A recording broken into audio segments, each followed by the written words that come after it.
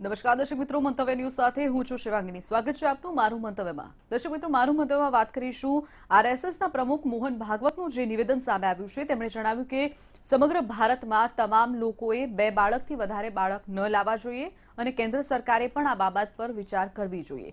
ત્યારે આ જ મુદ્દા પર લોકોનું શું મંતવ્ય છે તે જાણવાનો પ્રયત્ન કર્યો. ત્યારે રાજકોટવાસીઓ અંગે શું માને છે નજર કરી તેના પર. વસ્તી નિયંત્રણને લઈને કાયદો બનવો જોઈએ તેવું કહેવું છે આરએસએસ વડા મોહન ભાગવતનું. ખાસ કરીને જો વાત કરીએ તો વસ્તીને લઈને ઘણા જે કહી શકાય કે સમસ્યાઓ છે તે પેદા થતી હોય છે. તેને લઈને રાજકોટના લોકોનું શું મંતવ્ય છે? આપણે જાણવાની કોશિશ કરશું. શું નામ છે આપનું? લલિતભાઈ ઠકરાર. લલિતભાઈ શું કહેશો કે આરએસએસના વડા મોહન ભાગવત એક નિવેદન આપ્યું છે કે હવે પછી છે વસ્તીનું નિયંત્રણ થવું જોઈએ સરકારે એ પ્રકારનો કાયદો લઈ આવવો જોઈએ. શું કહેશો આપ? ખરેખર તો આ એક બહુ જરૂરી કાયદો છે. એનું કારણ છે કે આપણા દેશમાં ગરીબી છે અને જ્યારે એટલી જે પ્રમાણમાં વસ્તી વધારો થઈ રહ્યો છે એ પ્રમાણે માળખાકીય સુવિધાઓ વધી શકતી નથી. અને બીજું, એટલી બધી ગરીબી પણ છે કે લોકોના અમુક સ્ત્રીઓની પરિસ્થિતિ એવી છે કે પેટ ખાલી છે અને ગર્ભાશયો ભરેલા છે. તો આ સંજોગોમાં જો ખરેખર સરકાર આ અંગે કાયદો લાવે, તો કોઈ ચોક્કસ ધર્મ કે કોઈ ચોક્કસ જાતિને ટાર્ગેટ બનાવ્યા વગર માત્ર એક દેશના હિત માટે સૌએ આ બાબતમાં સરકારને સમર્થન આપવું જોઈએ. શું લાગે છે ખરા અર્થમાં સરકાર આના માટે કામ કરી રહી છે અત્યારે? અત્યારે હજી જોઈએ એવું એક્શન મોડમાં નથી પણ જો ખરેખર સરકાર આ બાબતમાં સારું વિચારે અને ઝડપથી કાયદો લાવે તો એ લાંબે ગાળે દેશ માટે બહુ જ ફાયદાકારક છે. મહારાષ્ટ્રમાં ક્યાંક ને ક્યાંક આ કાયદો છે જ. તેમ છતાંય ક્યાંક ને ક્યાંક એનું જે અમલીકરણ છે બીજા રાજ્યોમાં નથી થતું બીજા ઘણા એવા રાજ્યો છે કે જેમાં અમલીકરણ છે. પણ તેમ છતાંય જે નક્કરતાથી કાયદો થવો જોઈએ એ નથી થતો. એ ચોક્કસ વાત છે કારણ કે આપણા દેશની કદાચ સૌથી મોટી કમનસીબી એ છે કે કાયદાઓ બનાવી નાખીએ છીએ. પણ એ કાયદાનું અમલીકરણ કરવામાં આપણે ક્યાંક ને ક્યાંક ગુણા ઉતરીએ છીએ. આજે મહારાષ્ટ્રમાં કાયદો હોવા છતાં એ કાયદો છે એની કદાચ આજે જ આપણને ખબર પડી છે. કે એટલે મતલબ કાયદાની કોઈ અસર દેખાતી નથી. ક્યાંક ને ક્યાંક છે કે કાયદાની અસર નથી દેખાતી. હું આપને પૂછવા માંગીશ શું નામ છે આપનું? ભગવાનજીભાઈ ડોબરિયા. ભગવાનજીભાઈ શું કહેશો? ખાસ કરીને જે સંઘ પ્રમુખ મોહન ભાગવતે જે નિવેદન આપ્યું છે કેટલું યોગ્ય છે? સો ટકા યોગ્ય છે. આજે વસ્તી વિસ્ફોટ વિશ્વ લેવલે બહુ મોટી સમસ્યા છે. જેમ એક બાળક હોય એનું જતન થાય એનાથી બેમાં ઓછું થાય એમ વધુ ત્રણ ચાર થાય તો એ મોટી સમસ્યા ઊભી થાય પોતાના ઘર માટે રાજ્ય માટે અને દેશ માટે. એ વસ્તી નિયંત્રણ બધા માટે ખાસ જરૂરી છે. વસ્તી નિયંત્રણ થવાથી શું લાગે છે કે જે અન્ય જે તકો છે તે ક્યાંક ને ક્યાંક મળતી સરકારી લાભો છે તે મળે ખરા? સો ટકા મળે. વસ્તી ઓછી હોય તો બધાને લાભ મળે. વસ્તી વધુ હોય તો ઘરના એકને જોબ મળે તો ચાર બેકાર હોય તો ત્યાંની સમસ્યા બહુ મોટી ઊભી થઈ જાય.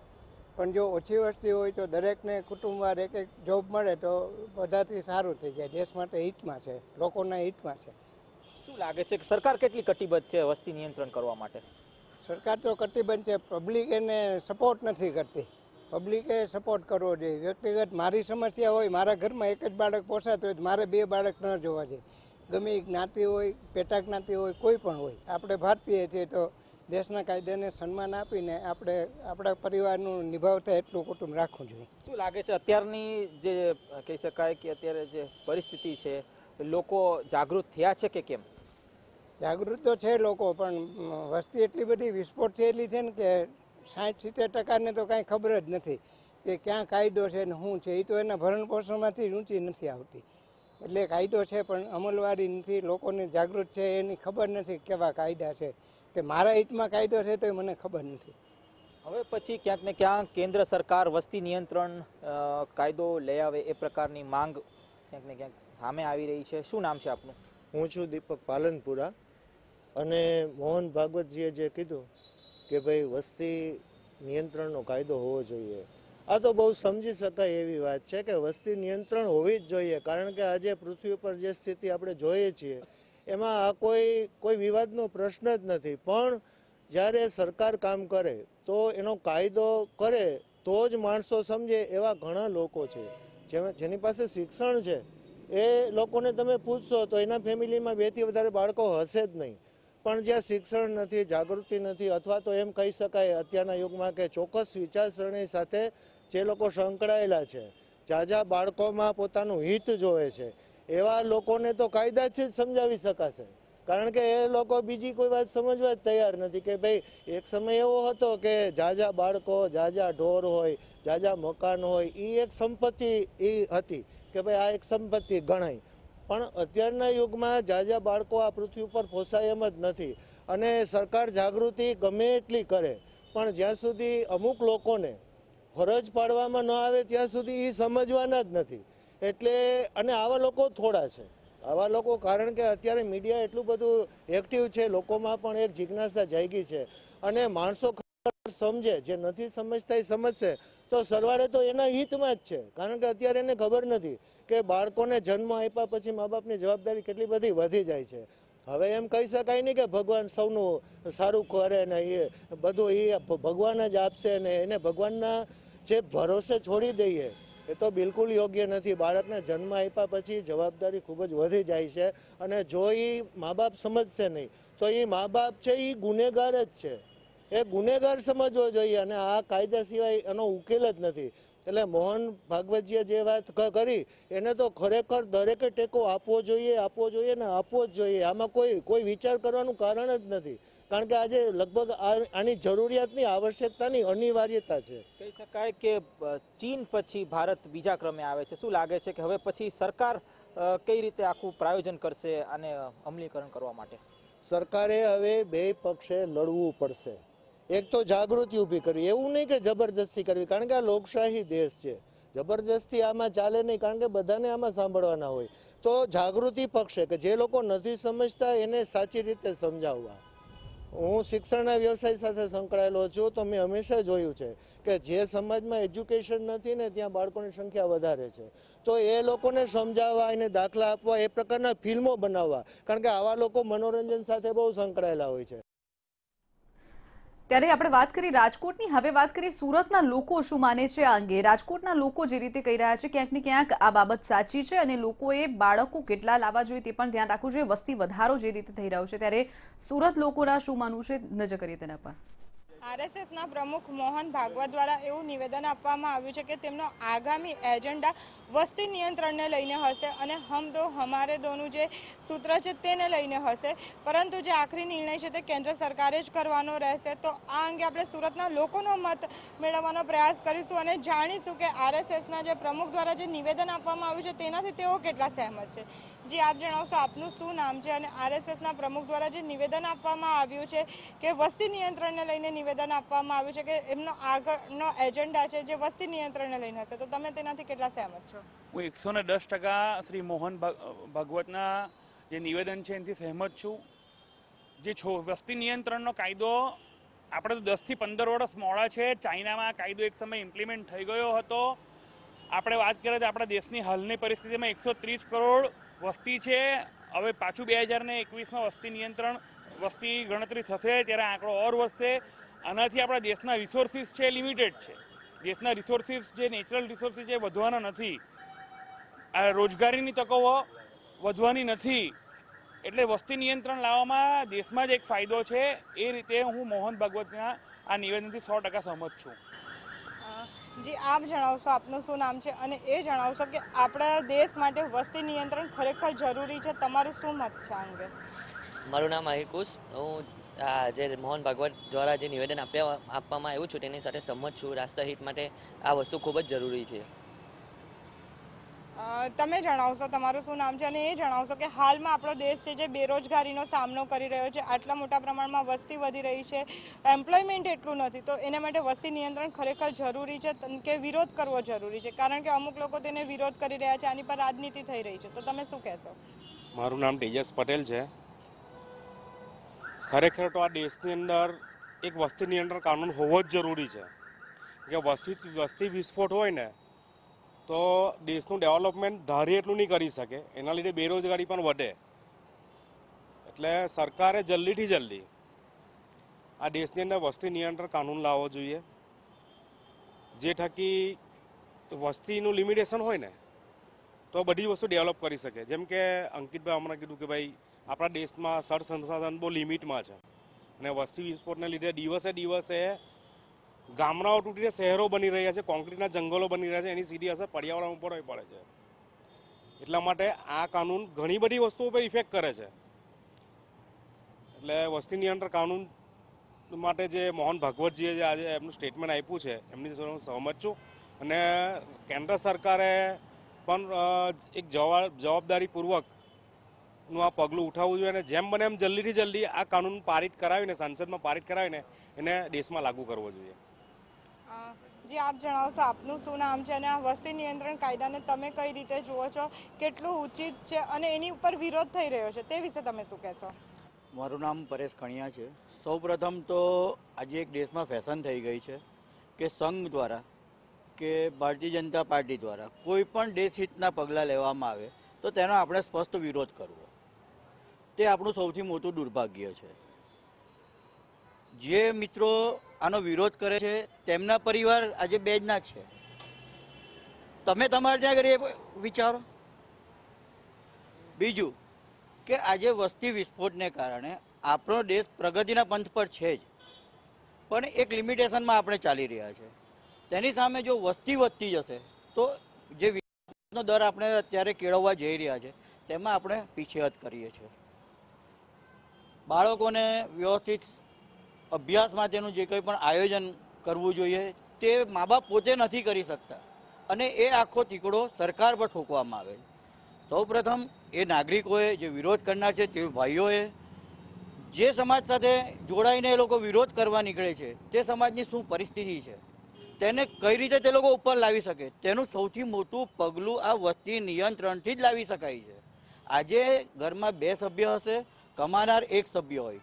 કુલ ચાર સભ્ય થાય બે પોતાના બાળકો હોય, બે બાળકો હશે, તો તે બે બાળક પાસે પૂરતું ધ્યાન આપી શકે- શકશે. અને જો દસ હશે, તો એ દસમાં કેટલું ડાયવર્ટ થાય તે તમે પણ સમજી શકો છો. અને એ વસ્તુ એ લોકોએ પણ સમજવાની જરૂર છે કે સરકાર આપણા છોકરાઓનું કંઈ રખવા કરવા માટે નથી બની. સરકાર આપણા માટે વ્યવસ્થા ઊભી કરવા માટે બની છે અને એ સરકારને આપણે મૂકી છે કે ભાઈ તમે અમારા માટે કોઈક સારા કાર્ય કરો. અને જ્યારે સરકાર કોઈ કોઈ કોઈ પણ પ્રકારના સારા કાર્ય લઈને આવે છે, તો આજે સૌથી મોટું તકલીફ એક જ થાય છે કે બસ આ લોકોનો વિરોધ વિરોધ ને વિરોધ.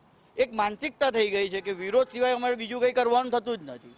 તમે ડીપમાં વિચારો ભાઈ, વિવાદ વિવાદ કરો અને પછી તમે આગળ આવો. તમે વાત તો કોઈ જાતનો કરવા માંગતા નથી, ખાલી વિવાદ જ કરવા માંગો છો. આ પગલું ખરેખર પંદર વીસ વર્ષ પહેલાં લેવાવું જોઈતું હતું. આ પ્રકારના નિવેદન કોઈ પણ સંસ્થાને વહેલા આવવા જોઈતા હતા. થોડું મોડું છે પણ આવકાર્ય છે. જે આપ જણાવશો. હાલમાં આપણો દેશ છે બેરોજગારીનો સામનો કરી રહ્યો છે અને આ બેરોજગારી અને વસ્તી નિયંત્રણને શું તમે કઈ રીતે જુઓ છો બંનેને? સૌ પ્રથમ તો મારું નામ વિશાલ પટેલ છે. પહેલાં કાયદો અત્યારે નહીં બહુ પહેલાં લાવવાની જરૂર હતી. અને બેરોજગારી એટલે બહુ મોટી એ કહેવાય. આની ઇફેક્ટ વસ્તી વધારાની ઇફેક્ટ શૈક્ષણિક વસ્તુ પર બી બહુ લાગે છે. આજે બે છોકરા હોય આપણા ઘરમાં, તો એ બે છોકરાઓ પર આપણે પૂરતું ધ્યાન આપી શકાય ભણવા બાબતમાં. અને ચાર હોય તો એ ડાયવર્ટ થવાનું જ છે, કે કોઈ પર ધ્યાન પર્ટિક્યુલર અપાવવાનું છે નથી. એટલે જરૂરી છે કે વસ્તી નિયંત્રણનો કાયદો બને એટલો જલ્દી લાવો. જી ચોક્કસથી તો આ હતા, સુરતના લોકોને તેમનું મંતવ્ય, તેમનું માનવું છે કે આ જે વસ્તી નિયંત્રણનો જે કાયદો લાવવાનો વાત કરી રહ્યા છે તે જલ- જલ્દીમાં જલ્દી લાવવામાં આવે, કારણ કે દેશ હિતમાં છે. કોઈ પણ દેશ ત્યારે જ વિકાસ કરી શકે કે જ્યારે તેની વસ્તી હોય તે નિયંત્રણમાં હોય તો જ એ વિકાસ કરી શકે ને આ જે કાયદો છે તે બહુ પહેલાં લાવી દેવાની જરૂર હતી તેવું પણ સુરતના લોકો કહી રહ્યા છે. કેમેરા પર્સન વિજય બેસાણે સાથે, નિકિતા ચલિયાવાલા, મંતવ્ય ન્યૂઝ સુરત. ત્યારે આ જ મુદ્દા પર જામનગરના લોકોનું શું મંતવ્ય છે? નજર કરીએ તેના પર. આરએસએસ એટલે કે જે રાષ્ટ્રીય સેવા સ્વયંસેવા સ્વયં સેવા સંઘના જે પ્રમુખ છે, તેઓ દ્વારા મુરાદાબાદમાં એવું કહ્યું છે કે જે તેઓનો આગામી એજન્ડા છે, તે વસ્તી નિયંત્રણના કાયદાને લઈ અને સમગ્ર દેશમાં જે આંદોલન છે તે કરવાના છે. તેઓ પહેલેથી જ જે બાળકો છે, તેમના સમર્થનમાં રહ્યા છે અને આ અંગે અંતિમ જે નિર્ણય છે તે કેન્દ્ર સરકારે કરવાનો છે અને તેને લઈને જ આજે આપણે જામનગરના લોકો સાથે આ મંતવ્ય જાણવા છે તેમના કે શું કહી રહ્યા છે જામનગરના લોકો. બેનું સૌપ્રથમ આપને પૂછવા માંગીશ કે જે રીતે વસ્તી નિયંત્રણના કાયદાને લઈ અને જે પહેલેથી સૂત્ર ચાલી રહ્યું છે કે હમ દો, હમારે દો. તમે કેટલું સમર્થન આપો છો અને શેના માટે? અમે સો એસો ટકા સમર્થન આપીએ છીએ કે પહેલાં જે સૂત્ર હતું કે હમ દો, હમારે દો. અત્યારનું બીજું સૂત્ર છે કે, હમ દો એક. કે એ વસ્તી નિયંત્રણ જરૂરી છે. કારણ કે અત્યારની મોંઘવારી, શિક્ષણના, એજ્યુકેશનમાં ઘણો બધો ફુગાવો વધતો જાય છે, તો છોકરાઓને કઈ રીતે ભણાવવા, એના માટેના જે ફી વધારા આ તે, અને ઘરની જે સમસ્યાઓ છે, પૂરતું છોકરાઓ પૂરતું ધ્યાન આપી શકાય એ માટે આ જન આપને જે વધારો છે એ જરૂરી છે કે હમ દો હમારે એક વસ્તી નિયંત્રણ ખાસ જરૂરી, જરૂરીમાં એટલે સો સો ટકા જરૂરી છે કે જેથી કરીને બધાને પૂરતી સગવડતા મળે, પૂરતું વ્યવસ્થા મળી રહે અને પૂરતું શિક્ષણ અને પૂરતી જે કંઈ સગવડો છે એ બધા લોકોને સરખી મળી રહે. એ માટે ખાસ હું એમ કહું છું કે સો સો ટકા એ જરૂરી છે વસ્તી નિયંત્રણ. અન્ય નાગરિકો પણ છે, તમે શું કહેશો કે જે રીતે આરએસએસ દ્વારા એવું જણાવવામાં આવ્યું છે કે આગામી તેઓનો એજન્ડા છે તે વસ્તી નિયંત્રણના કાયદાને લઈ અને આંદોલન કરવાના છે, તમે શું કહેશો? વસ્તી નિયંત્રણ એ એક જરૂરી બાબત છે. આપણા દેશમાં અત્યારે વસ્તી વધારો ખૂબ વધી ગયો છે. જો વસ્તી નિયંત્રણ નહીં થાય તો એના પરિણામ બહુ ખરાબ આવી શકે એવી શક્યતા છે.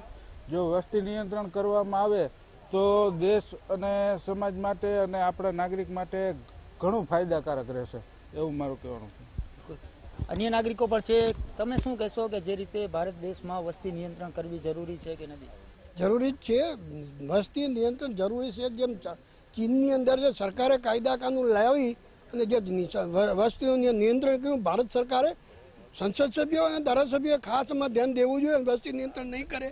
તો શું મુસીબત થાય? કારણ કે નબળો વર્ગ છે અભણ વર્ગ છે એ વસ્તી નિયંત્રણમાં કોઈ જાતે કાબૂમાં રહેતો નથી. એને માટે કાયદા કાનૂન લેવા જોઈએ, સમજાવવા જોઈએ, એની વ્યવસ્થા સરકારે કરવી જોઈએ. શું કરવું શું કરવું, ન કરવું, એ દિલ્હી સરકાર જોવાનું છે. આજે રાજ્ય સરકાર ના કરી શકે. આ માટે સરકારે નિયંત્રણ કરવું જ જોઈએ, નકર આજે બે હજાર પિસ્તાલીસ, પચાસની અંદર આજે ભારત ભારતની વસ્તી આજે જે આંકડા બોલે એ પ્રમાણે તમે હિસાબ કરો ક્યાં વાત જાય તો તે દિવસે આજે ભૂખમરો આવશે, તો સરકારની જવાબદારી છે આ બાબતમાં નિયંત્રણ કરવાની. તમે શું કહેશો કે જે રીતે વસ્તી નિયંત્રણને લઈ અને હવે ક્યાંક ને ક્યાંક દેશ જે આખો છે તે સહમત થાય, એક મતે થાય તો દેશની વસ્તી છે તે નિયંત્રણ થઈ શકે છે. એમાં કોઈ વિરોધ ના ચાલે તો શું કહેશો? વસ્તી નિયંત્રણ છે અત્યારના સમયમાં જો આપણે જોઈએ તો બહુ જ જરૂરી વસ્તુ છે. કેમ કે ભારતની જે વસ્તી અત્યારે છે, ચાઇના પછી સેકન્ડ નંબરે આવે છે. અને થોડા સમય જો આવું નવું ચાલ્યું તો ભારતની વસ્તી ચાઇના કરતાં પણ વધી જશે. હવે આ બા વસ્તુ જોઈએ તો આવડી બધી જે એક અબજ અને પાંત્રીસ કરોડની જે વસ્તી છે, એને ખવડાવવું, એના માટે રહેવા, રહેવાની વ્યવસ્થા કરવી, એ બધી આપણા માટે બહુ મોટા પ્રશ્ન થઈ જાય. અને જો નાની વસ્તી હોય તો તેમાં સરકાર અત્યારે કોઈ પણ કાયદા લાગુ પાડે, તો એ પણ આપણે એને વ્યવસ્થિત ઇમ્પ્લિમેન્ટેશન કરી શકીએ. જો જાજી વસ્તી હોય તો એ બધું સરકાર માટે પણ એક મુસીબતરૂપ થઈ જાય. અને એ દેશને આપણે આગળ લઈ જવો, એનો વિકાસ કરવો, એ બધું આપણા માટે અઘરું થઈ જાય. એટલે વસ્તી નિયંત્રણ છે એ બહુ જરૂરી છે દેશના વિકાસ માટે. અને બધી રીતના એ આપણા માટે ખૂબ જ અગત્યનું છે અને માણસોએ પણ આ બાબતે જાગૃત થવાની ખૂબ જ જરૂર છે. કે પોતે પોતાના જે સંતાનો છે એકથી બે સુધી લિમિટ રાખી અને ખૂબ જ અગત્યનું છે. તો આ જામનગરના નાગરિકો કે જેમનું સ્પષ્ટ કહેવું અને માનવું છે કે જે રીતે રાષ્ટ્રીય સેવા સ્વયંસેવા સંઘના જે પ્રમુખ દ્વારા જણાવવામાં આવ્યું છે કે તેઓનો આગામી એજન્ડા છે તે વસ્તી નિયંત્રણના કાયદાને લઈને સમગ્ર દેશમાં આંદોલન કરવાનો છે, ત્યારે જામનગરના નાગરિકો જણાવી રહ્યા છે કે જે રીતે જે વસ્તી નિયંત્રણ છે તે કાયદાને સમર્થન મળવું જ જોઈએ. હમ દો હમારે દોના સૂત્ર ઉપર તેઓ સમર્થન કરી રહ્યા છે, કારણ કે દેશના વિકાસને લઈ અને તેઓ પણ ઈચ્છી રહ્યા છે કે હાલ જે ભારત દેશની જે વસ્તી છે તેના પણ ખરેખર નિયંત્રણ હોવું જોઈએ. કેમેરા પર્સન રાહુલ જોશી સાથે સલમાન ખાન મંતવ્ય ન્યૂઝ જામનગર. તો સંઘના પ્રમુખનું જે નિવેદન આવ્યું છે મોટા ભાગે તમામ જિલ્લાઓના લોકો તેને સમર્થન કરી રહ્યા છે અને વસ્તી નિયંત્રણમાં લાવી ખૂબ જ જરૂરી છે આવનારા સમય માટે તેવું પણ જણાવી રહ્યા છે. ત્યારે વડોદરાના લોકોનું શું મંતવ્ય છે? નજર કરીએ તેના પર. દેશમાં સતત થઈ રહેલો વસ્તી વધારો ચિંતાનો વિષય બનતો જાય છે અને એવામાં વસ્તી વધારાને લઈને અવારનવાર રાજકીય પાર્ટીના નેતાઓના નિવેદનો આવે છે. નવું નિવેદન સંઘ સુપ્રીમો ભાગવતનું આવ્યું છે, મોહન ભાગવતનું કહેવું છે કે દેશમાં વસ્તી નિયંત્રિત થવી જોઈએ, સરકારે તેના પર ધ્યાન રાખવું જોઈએ, એની માટે કંઈક કરવું જોઈએ, નહીતર આરએસએસ આ મુદ્દે આંદોલન ચલાવશે. આ વિશે નાગરિકોના શું મત છે, મોહન ભાગવતના નિવેદનને વડોદરાવાસીઓ કઈ રીતે જુએ છે તે વિષય ઉપર વાત કરીશું. કેટલાક નાગરિકો આપની સાથે છે. મોહન ભાગવતનું આ નિવેદન છે, આપે સાંભળ્યું. શું કહેશો એના પર? આપનો શું મત છે? મારું કેવું, આપને એવું છે કે આપના માધ્યમથી કે મોહન ભાગવતજી જે રીતે વાત કરી રહ્યા છે કે બે બાળકો જ હોવા જોઈએ એવું. ભાઈ એ તો વર્ષોથી આપણે જ્યારે દેશની અંદર હિન્દુ પ્રજા માટે તો બે બાળકો બસ ને ચાલે જ છે. પણ એ મોહન ભાગવતજી એવું ક્લિયર કરવું જોઈએ કઈ જાતિ માટે. કારણ કે હવે તો એવું થઈ ગયું છે કે હિન્દુઓ તો બે બાળકો પરથી એક પર આવી ગયા છે.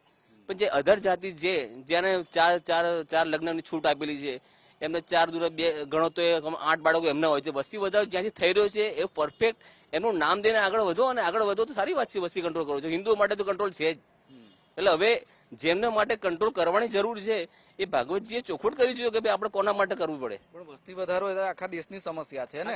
એનું ધર્મના આધારે બાયફર્ગેશન ન થવું જોઈએ. પણ એવું આપણે કહેતા નથી ધર્મના આધારે કરવું જોઈએ પણ વસ્તી વધારે જ્યાંથી થઈ રહી છે જે કાસ્ટમાં થઈ રહી છે એનો તો કંટ્રોલ કરવા માટે ચોખવટ કરવી પડે ને. કારણ કે કાં તો એવું કરવું જોઈએ કે ભાઈ, તમે વોટિંગ રાઇટ જેને આપ્યા છે, તો એમાં એવું નિયમ લાવો કે ભાઈ બે બાળકો જ્યારે હોય વોટિંગ રાઇટ કરી શકે, સમજી લો. તો ઓટોમેટિક કંટ્રોલ આવશે. કારણ કે બધા બેનિફિટ વોટિંગ રાઇટ પણ મળતા હોય છે. તો જે બી કાસ્ટ હોય કાસ્ટ પર જતા નથી આપણે, પણ જે બી જાતિ હોય કે જે બી વ્યક્તિ હોય, બે બાળક હોય, એનાથી વધારે હોય એને વોટિંગ રાઇટ ના મળે અને સરકારને બેનિફિટ ના મળે, આ બધું આયોજન લાવશે ઓટોમેટિક કંટ્રોલ થઈ જશે. બાળકોની સંખ્યાને લઈને, પરિવારમાં બાળકોની સંખ્યાને લઈને સરકાર દ્વારા અવારનવાર ઘણા બધા વિષયો બહાર પાડવામાં આવે છે, નિયમો પણ બનાવવામાં આવે છે. મતાધિકારનો પ્રયોગ તેમાંનો એક નિયમ છે. સરકાર દ્વારા થોડા સમય પહેલા જેવું જાહેર કરવામાં આવ્યું હતું કે બે બાળકો હોવા જોઈએ, એના કરતાં વધારે હશે તો ચૂંટણી લડવા પર પણ પ્રતિબંધ હશે અને એ બહુ જૂનો કાયદો છે. મતાધિકાર પણ નહીં મળે, એના કરતાં વધારે હશે. તો આપ એને કઈ રીતે આમ જોવા જઈએ તો આ એક નવું નિવેદન નથી. બે બાળકોનું જે છે કે બે બાળકો તમારા હોય તમે ચૂંટણી લડી શકો. બે હજાર છ પહેલાં જેટલા પણ કોઈને ત્રણ બાળકો હોય તો એ ચૂંટણી લડી શકે. બે છ, બે હજાર છની પહેલાં. બે હજાર છ પછી જો જોના બે બાળકો હોય એ ચૂંટણી લડી શકે અને બેનો ત્રણ બાળક કોઈનો પણ હોય તો ચૂંટણી ના લડી શકે. આ નિવેદન પહેલાંથી છે.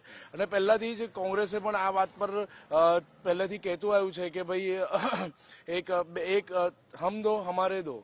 યા પછી હમ દો, હમારે એક. બરાબર છે? તો આ વસ્તુ મોહન ભાગવતે જે કીધું છે આ ફક્ત ને ફક્ત મુદ્દો ડાયવર્ટ કરવાની વાત છે. હું ચોખ્ખી વાત તમને કહું તો એ રીતે મને લાગી રહ્યું છે. કઈ રીતે? મુદ્દો ડાયવર્ટ કરવાની વાત મુદ્દો ડાયવર્ટ કરવાની વાત એવી રીતે છે કે આજે દેશની અંદર બે હજાર અઢારમાં તમે જોશો આપણા પાસઠ ટકા ઇન્ડિયાની અંદર પાસઠ ટકા જે આપણા યુવાનો છે આપણી વસ્તી જે છે એમાં પાસઠ ટકા યુવાનો છે. હવે યુવાનોને બેરોજગારી આપવાની વાત કરો નોકરીઓ આપવાની વાત કરો અત્યારે તમે એ કાયદો બનાવો કે આપણા ઇન્ડિયાની અંદર ભારતની અંદર જેટલા પણ યુવાનો પાસઠ ટકા ઇન્ડિયાની અંદર છે એ લોકોને નોકરીઓ એમની જરૂરિયાતો પૂરી થવી જોઈએ. આપનું એવું કેવું છે કે મોહન ભાગવતે રોજગારનો મુદ્દો ઉઠાવવો જોઈએ નહીં કે આવા પ્રકારના મુદ્દાઓ? હા એમને જે બે બાળકો કરવાનો જે મુદ્દો રાખ્યો છે એને તો હું આવકારું જ છું. પણ સાથે સાથે એ તો બધી જ જનતા આજે પણ કોઈ પણ ઘરમાં તમે જશો તો બે કે ત્રણ બાળકથી વધારે, એક કે બે બેથી વધારે કોઈ જ નહીં. કેમ કે મોંઘવારી એટલી બધી, મોંઘવારીનો માર પણ એટલો બધો પડી રહ્યો છે. એટલે કોઈ પણ નાગરિક એવું નહીં છે કે મારા છોકરાને હું પૂરતું, જો મારા ત્રણ છોકરા હોય તો પૂરતું એને શિક્ષણ ના આપી શકું. એના માટે એ એક અથવા તો બેથી વધારે છોકરો નથી રાખતો. પણ મુખ્ય મુદ્દો એવો છે કે હવે બેરોજગારી પર તમે વાત કરો. મુખ્ય મુદ્દો એવો છે કે તમે નોકરીઓ પર વાત કરો. મુખ્ય મુદ્દો એવો છે કે તમે લોકલ મુદ્દાઓ પર વાત કરો. મુખ્ય મુદ્દો એવો છે કે તમે રાષ્ટ્રવાદી પર જે વાત કરો છો, એની જગ્યાએ જે લોકોને ખરેખર જરૂરિયાતવાળી વાત છે એના પર વાત કરશો તો પ્રજા તમારી સાથે રહેશે. ગમે ત્યારે ગમે ત્યારે તમે જે પણ સ્ટેટમેન્ટ આપો છો એમાં કોઈને કોઈ કોમને એક બાજુ રાખવાની જ આ વાત થઈ રહી છે જેની તમે ચોખવટ પણ નથી કરતા. બેઝિક મુદ્દાઓ પર વાત થવી જોઈએ તેવું વડોદરાના લોકોનું કેવું છે અને કેટલાક લોકો પણ છે. આપનું કેવું શું માનવું છે મોહન ભાગવતે જે નિવેદન આપ્યું છે તેના ઉપર? મોહન ભાગવત ઓલવેઝ એમના પોઈન્ટ એવા હોય છે કે જે સ્થિતિ ચાલી રહી હોય છે એનાથી આખી તંત્રને પબ્લિકને ડાયવર્ટ કરીને બીજા મુદ્દે લઈ જવામાં આવે છે. અત્યારે હું બિઝનેસ કરું છું પોતે. અમને કેટલી હાલાકી ભોગવવી પડે છે અમને ખબર છે. અમારા ફાધરને બે છોકરા છે. પણ બે છોકરાને એ બે છોકરાને બેનિફિટ શું મળે છે? અત્યારે મોંઘવારી કઈ જઈ રહી છે? કેન્દ્રમાં ભાજપની સરકાર છે. એવામાં મોહન ભાગવતે જે મુદ્દો ઉઠાવ્યો છે એ પણ આ સમયે ખૂબ મહત્વનો બની જાય છે. આપનું શું માનવું છે? કારણ કે દેશમાં વસ્તી નિયંત્રણ જરૂરી છે. કેન્દ્રમાં ભારતીય જનતા પાર્ટીની સરકાર છે. એવામાં સંઘ સુપ્રીમો આ પ્રકારનું નિવેદન કરે છે. એટલે ભાગવતજીનું સ્ટેટમેન્ટ મેં આપણે સાંભળ્યું. બે એટલે બાળકવાળો એટલે કાયદો આવકાર્ય છે. સાથે સાથે એમણે એવું એટલે સ્ટેટમેન્ટ એટલે આપ્યું કે ભવ્ય રામ મંદિર એ અમારા એજન્ડામાં હતું. બે બાળકવાળો કાયદો આવકાર્ય છે. પણ મારે ભાગવતજીને એવું કહેવું છે કે છેલ્લા છ એટલે વર્ષથી આ જે સરકાર ચાલી રહી છે એમાં રોજગારીના ફાંફા છે. ઇકોનોમી ગરતામાં ધકેલાઈ ગઈ છે. એની વાત કરો. ભવ્ય રામ આપણે મંદિર આવકારીએ છીએ. પણ સાથે સાથે ભવ્ય સરકારી સ્કૂલો સરકારી હોસ્પિટલ એટલી જ આવકારી અને એના કરતા પણ એ રોજિંદી એ બધી આપણે એટલે જરૂરિયાતવાળી વસ્તુ વસ્તી નિયંત્રણ પણ એટલો જ મહત્વનો મુદ્દો છે ને? એ જરૂરિયાત નથી? એ આવકાર્ય છે બે બાળકનો કાયદો આવકાર્ય છે પણ અત્યારે દેશની જે સ્થિતિ છે ઇકોનોમી ખાડામાં ગયેલ- છે, રોજગારી છે નહીં, મોંઘવારી એટલી છે જે પોઈન્ટ ઉપર એટલે આપણે સરકારના કાન ખેંચવાના છે. એમાં કાન ખેંચતા હતી અને અલગ અલગ એટલે મુદ્દાથી વાતને ડાયવર્ટ કરે છે. બિલકુલ. તો સરકારે જે વિષયો પર વાત કરવી જોઈએ, જે મુદ્દાઓને ધ્યાનમાં રાખીને, કારણ કે સરકાર દ્વારા ઘણા બધા વાયદાઓ કરવામાં આવ્યા હતા, બેરોજગારીનો મુદ્દો પણ તેમાંનો એક હતો. લોકોનું એવું કહેવું છે કે તેના પર વાત નથી થતી ને બીજા મુદ્દાઓ પર વાત થાય છે. અન્ય એક ભાઈ છે આપની સાથે. કઈ રીતે મોહન ભાગવતના નિવેદનને આપ જુઓ છો? જ્યારે કે દેશમાં સતત કૂદકે ભૂસકે વસ્તી વધી રહી છે તેનું નિયંત્રણ પણ ખૂબ જરૂરી છે. જી ચોક્કસ તમારી વાત અને મોહન ભાગવતની વાત સો ટકા સાચી કે વસ્તી નિયંત્રણ જરૂરી છે. પણ એની સાથે સાથે બીજા કેટલા અગત્યના મુદ્દાઓ છે? રોજગારી મોંઘવારી પછી જે દેશમાં જે અલગ અલગ કાયદા કાનૂન લાવીને અર્થતંત્રને જે લોકો પત્તા રગડે છે, જે જીએસટી લાયા નોટબંધી લાયા તો વધારે ઇમ્પોર્ટન્ટ એ છે. આ વસ્તુ થોડા ટાઈમ પછી થશે તો ચાલે એવી છે. જે મેઇન મુખ્ય વાત છે, આમાં એ લોકોનો એજન્ડા તમે સમજો. આમાં એ લોકો શું કરે છે કે અત્યારે આ જે બે છોકરાવાળી વાત કરી, પછી એ લોકોએ વચ્ચે આની પહેલાં મોહન ભાગવત એવું એકસો ત્રીસ કરોડ લોકો હિન્દુઓ છે. તો એનો મતલબ એ લોકો એવું એક મુદ્દો આપી દે છે આરએસએસ વાળા પોતાના જે પોતાની સંસ્થાઓ છે, ભાજપ છે કે બીજી યુવા વાહિની છે, એમને મુદ્દો આપી દે છે કે ભાઈ તમે આ મુદ્દે દેશમાં ધમાલનું વાતાવરણ ઊભું કરો. એમને એટલે તમે મુદ્દો ડાયવર્ટ કરો. એમનો મેઇન એજન્ડા એ જ છે કે તમે જે મેઇન મુદ્દો છે કે જે અર્થતંત્ર છે, કે જે તમારું રોજગારીનો મુદ્દો છે, એના પર તમે ધ્યાન ના લાવવા દો, લોકોને બીજા મુદ્દે ડાયવર્ટ કરો. એ જ એમનું મેઇન એજન્ડા છે. પણ સરકારે કામ કરવું જોઈએ વસ્તી નિયંત્રણના મુદ્દાને ધ્યાનમાં રાખીને, કારણ કે સરકારના એજન્ડામાં કદાચ એ નથી ને એટલા માટે સરકારના મોઢે કે એના મંત્રીઓના મોડે હજી સુધી આ વાત આવી નથી. સંઘ સુપ્રીમોએ કહેવું પડે છે કે દેશમાં વસ્તી નિયંત્રણ કરો નહીં તો અમારે આંદોલન કરવું પડશે. વસ્તી નિયંત્રણની જોવા જોઈએ પહેલાં પહેલાં દેશમાં આજની રોજગારીની રોજગારી ખોટી રહી છે. અર્થતંત્ર આપણું ખાડે ગયું છે. આજે આજની તારીખમાં સરકાર આપણે આ જોવું જોઈએ. હવે આપણે વસ્તી વધારો આપણે કરીશું તો એ વસ્તુ એમાં રોજગારી વધશે. એ બધું એટલે એ બધી વસ્તુ એ દેશ રાજ- દેશના લોકોએ જે નેતાઓ છે એ લોકો જોવાની જરૂર છે. આ દેશને આ ભટકાવાનું કામ કરી રહ્યા છે આ લોકો. તો મારે એવું કહેવા માંગુ છું કે તમે આ મુદ્દાને તમે ના સંચરો તો વધારે સારું? વસ્તી નિયંત્રણ જરૂરી જ છે. મારું સરકારે શું સ્ટેપ લેવા જોઈએ એમ વસ્તી નિયંત્રણના સ્ટેપ લેવા જોઈએ એમને. કેન્દ્ર સરકાર ના કે પછી બે છોકરા ફરજિયાત કરવા જોઈએ, એ કાંઈ- લાવવાનો કોઈ મતલબ જ નથી. ઓલરેડી બેરોજગારી છે અંતત્ર ખાડે ગયું છે. તો આપણે આ મુદ્દા પર ધ્યાન કેન્દ્રિત કરવું જોઈએ સરકારે. તો આ વડોદરાના લોકોનું મંતવ્ય છે મોહન ભાગવતના એ નિવેદન પર, જેમાં મોહન ભાગવતે કીધું છે કે કેન્દ્ર સરકારે હવે ધ્યાન આપવું જોઈએ કારણ કે આ મુદ્દો વર્ષો જૂનો છે. વર્ષોથી પાછલી સરકારોમાં પણ આ માંગો ઉઠી છે, પરંતુ વસ્તી નિયંત્રણને લઈને કોઈ પણ સરકાર દ્વારા એવા અસરકારક પગલાં ભરવામાં નથી આવ્યા અને તેને જ કારણે દેશની વસ્તી સતત વધી રહી છે. એવામાં મોહન ભાગવતે એવું કહ્યું છે કે જો સરકાર દ્વારા, હાલની સરકાર દ્વારા આ મુદ્દે કોઈ પણ પ્રકારના સ્ટેપ લેવામાં નહીં આવે, ધ્યાન આપવામાં નહીં આવે, તો આરએસએસ આ મુદ્દે આંદોલન કરશે અને ભગવતના આ જ નિવેદનને લઈને વડોદરાવાસીઓનું મંતવ્ય શું હતું તે આપણે સાંભળ્યું. કેમેરામેન ડીકે સોલંકી સાથે અમિત ઠાકોર, મંતવ્ય ન્યૂઝ વડોદરા. તો જે રીતે વસ્તી નિયંત્રણની વાત મોહન ભાગવત દ્વારા કરવામાં આવી છે. મોટાભાગના તમામ જિલ્લાના લોકો તેને આવકારી રહ્યા છે, તેને સપોર્ટ કરી રહ્યા છે અને લોકોનું કહેવું છે કે આવનારા બે હજાર પચાસ સુધીમાં એટલી બધી મોંઘવારી વધી જશે, બેરોજગારી વધી શકે છે, સાથે જ ભૂખમરો પણ આવી શકે છે. જો આ જ પ્રકારે લોકો વસ્તી વધારતા રહ્યા, એટલે ક્યાંક ને ક્યાંક વસ્તી વધારો જે છે તેને અટકાવવો પણ ખૂબ જ જરૂરી બને છે. તો આ સાથે જ મારું મંતવ્યમાં અત્યારે બસ આટલું જ. રજા આપશો? નમસ્કાર.